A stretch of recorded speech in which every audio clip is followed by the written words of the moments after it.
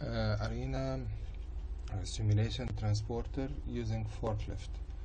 Uh, to set the transporter as a forklift, so you have to go to the setting type forklift and you have to set the distance of the forklift as well as the initial position, initial position status and when the system is free so where does it go is it uh, beside is it the forklift active or is it like the initial position at which station?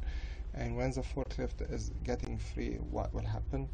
And forklift uh, it must be set in a different way than setting free path or the guided transporter and as well as when you set the enter and leave the system you have to do it in a different manner. Okay so I will show you so just one second. So the enter here. So you need once you get to where you wanted it to be delivered you just have to freeze the transporter to freeze the forklift. And it depends is it like the destination or one in the middle?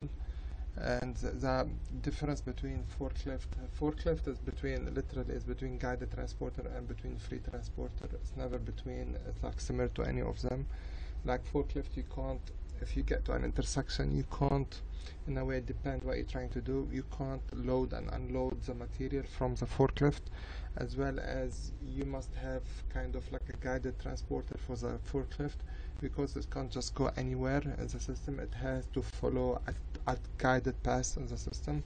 And this program will show you this like um, it must have a guided path as you could see here from the animation and running of this model how it follow a guided path all the time.